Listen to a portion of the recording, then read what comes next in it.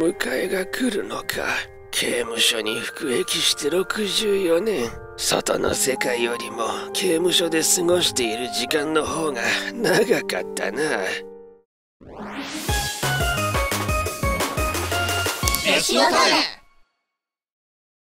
俺の名前は丸山育夫。現在84歳でこの刑務所に服役している人間だ無期刑なのでこの先も外に出ることはないだろう。あいてててて刑務作業も本当にできなくなってきたな。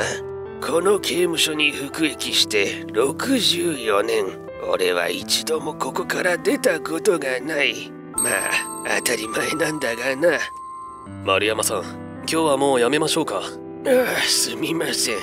ちょっと腰が痛くて。大丈夫ですよ腰痛ずいぶん前からありますからね。本当にこうやってお話ししてると丸山さんが受刑者だなんて思えませんよ。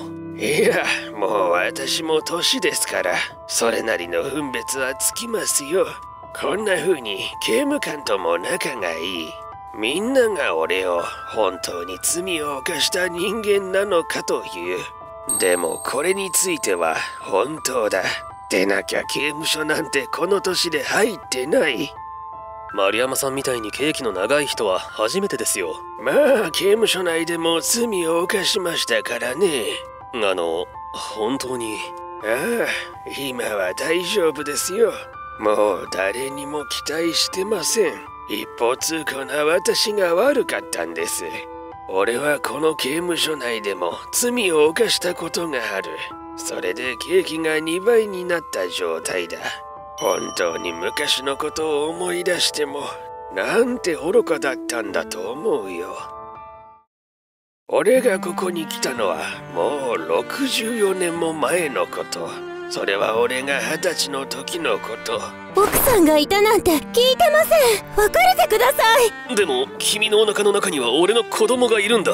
養うから愛人のままでいてくれ。あれは係長とユキコさんあの二人付き合ってたのか？俺は職場で上司と同僚のユキコさんが恋人関係にあることを知ってしまった。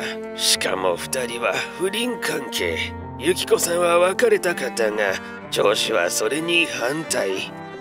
事情を知った俺は彼女に悩みを打ち分けられるように。あちらのご家庭を壊したくないし私を騙していた。あの人ともやっていけない。この子は一人で育てたいの。なのになんで分かってくれないのかしら。大丈夫。俺が何とかするよ。ありがとう丸山さん。俺は彼女の悩みを何とかしようと上司と掛け合ったのだが。うるさい。お前には関係ないだろ。でも彼女は困ってるんです。別れてあげてください。これは俺と彼女の問題だ。俺は妻と離婚する気も彼女と別れる気もない。女なら男に従うのが当たり前だろうが。なんだって？上司は聞く耳を持ってくれず気がついた時にはさあ言うことを聞かないお前が悪いんだよ。女性を何だと思ってやがる。俺は上司を殺害。それでも罪悪感はこれっぽっちも湧かなかった。あんた自分が何をしたのか分かってるのか？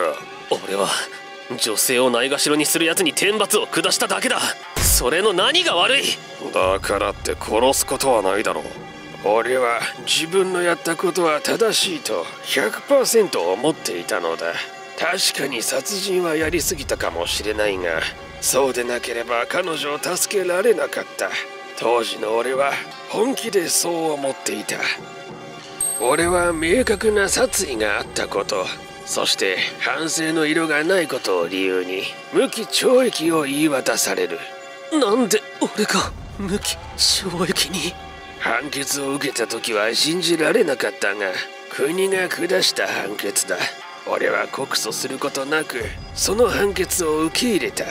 でも俺はあくまで国の方針に従っただけ。なぜ人を苦しめる奴を殺した俺が罪を償うんだ？でも人殺しは倫理的に反する行為。仕方ないのは分かっているが納得がいかないな。そんなんだから世の中から悪はなくならない。ユキコさんからはどうして上司を殺したのかと問う手紙が来たこともある。だが俺はその手紙に返信を書くことはなかった。上司が彼女を苦しめていたから殺した。それだけのことなのになぜ彼女は理解してくれないのか。俺はそれが分からなかった。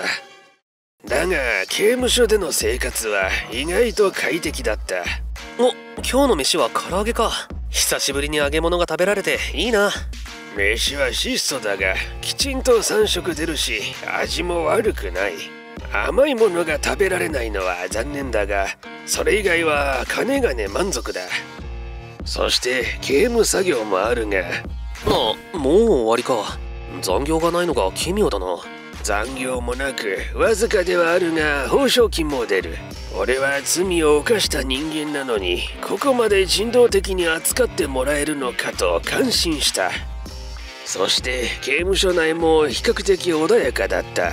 理由は模範囚にならないと色々な制限があるかららしい。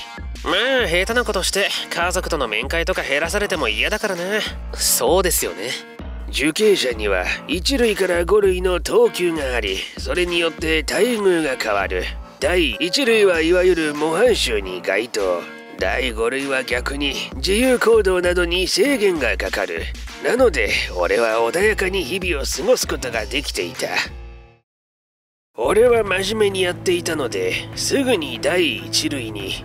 だが同時に問題も出てきたのだ。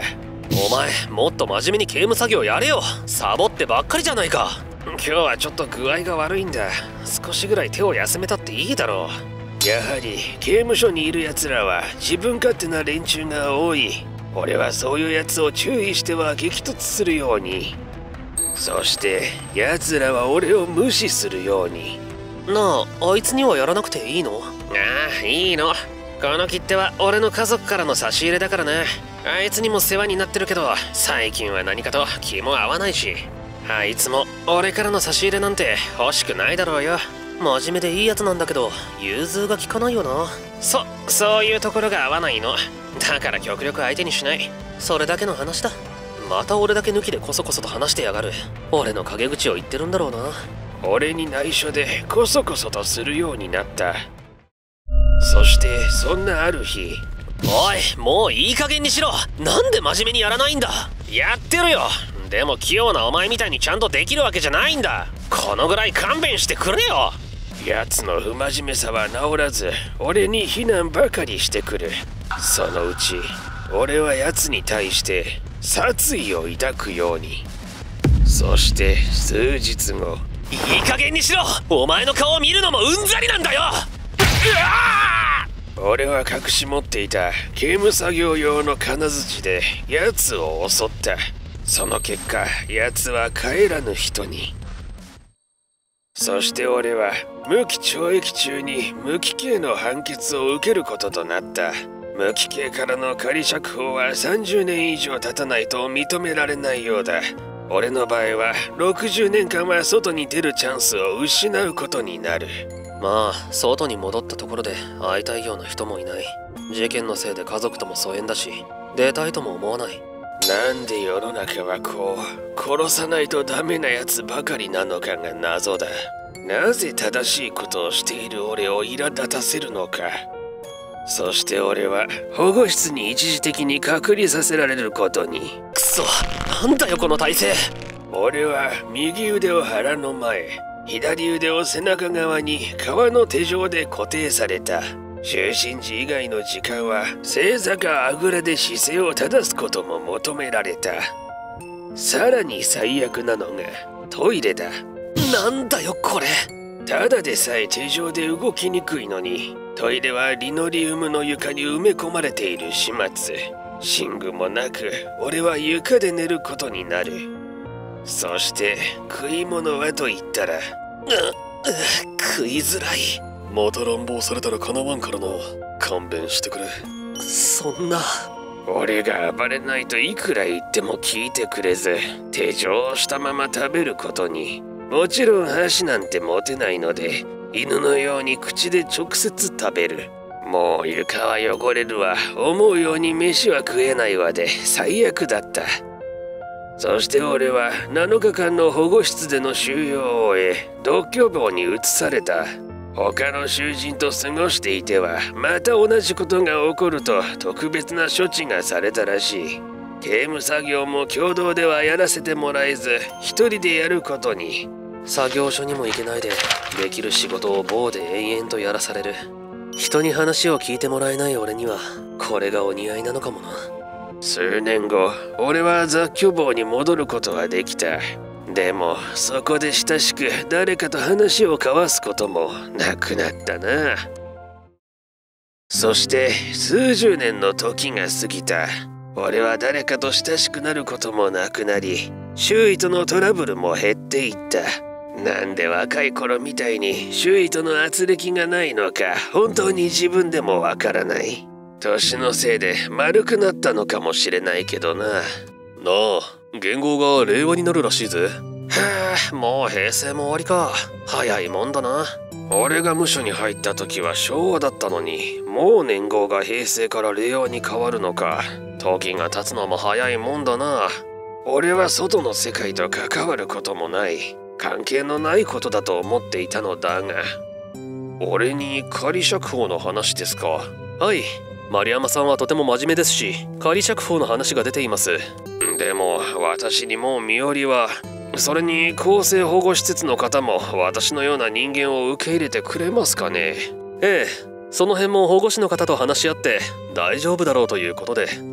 でも外に出てもこの年じゃ働く場所もないでしょうし年金も二十歳の頃から刑務所に入ってますから支給されません。でもここにいるのと外に出て支援を受けて生活するのそれほど変わりはないと思います。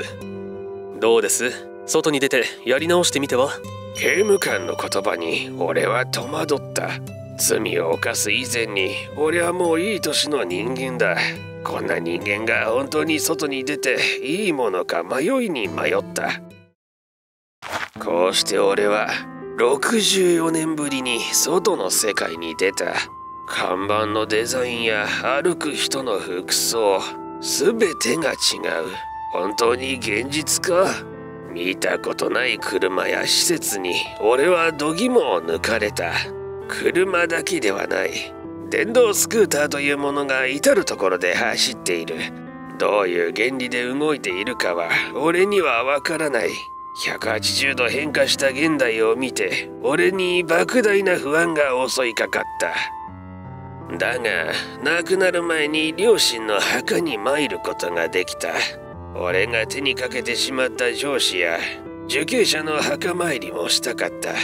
俺は保護士の方に身元引受人になってもらい厚生保護施設に身を寄せることに。ああ親父おふくろやっと来れたよ。日本はこんなに変わってここに来るまでかなり迷っちまった。本当にすまなかった。亡くなる前に謝罪することができた。そして俺が手にかけた被害者の墓にも赴いたのだった。そして帰りがけに何かを食べようと思ったがこのレジってやつどうやって使うんだ？勝手がわからない。俺はレジの使い方がわからずコンビニの使用を断念。ちなみに自販機で飲み物を買おうと思っても自販機自体そういえばあんまり使ったことないな。どうすりゃいいんだ？こんな感じで俺は物を買うことすらできなかった。そこで墓のそばにあった定食屋に寄ることに。ここだったら店員さんに色々と聞けるし支払いに困ることもない。このカツ丼おふくろが作ってくれたカツ丼にそっくりだ。どうしてその定食屋で食べたカツ丼は俺のおふくろが作ってくれたものによく似た味をしていた。それを食べていて無性に俺は悲しくなったのだ。俺なんてことしちまったんだ。このうまいカツ丼を作ってくれたおふくろは俺が犯罪者になってどんな思いをしただろう。そして俺に恋人である上司を殺されたユキコさんはどんな思いでいただろうか。刑務所で殺したあいつの家族はあいつが亡くなってどう思ったろうそんな思いが一気に溢れ出して俺は涙が止まらなかった。俺は俺はなんてことを。俺が人の命を奪ったことにより多くの人が不幸になった。そのことに俺はようやく気がつけたのだ。その後俺は厚生保護施設のお世話になり介護施設に入所。そこで世話をしてもらいながら自分のできる範囲で施設の掃除などもしていた。ありがとう丸山さん。いえいつもお世話になってますから。残りの人生少しでも俺を世話してくれている人たちの役に立ちたかったからだ。そして数ヶ月後。ああもうお迎えが来るのか。本当に刑務所生活が長い人生だったな。俺は仏花を手にあの世へ旅立とうとしていた。多分行くのは地獄だろう。極楽にいるおふくろや親父には永遠に会えない。それが俺の受ける罰だ。